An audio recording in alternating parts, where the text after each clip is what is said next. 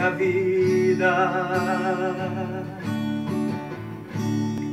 Ó Senhor, te louvarei,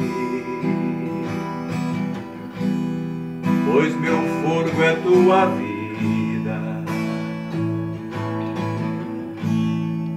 Jamais me cansarei. posso ouvir a sua voz,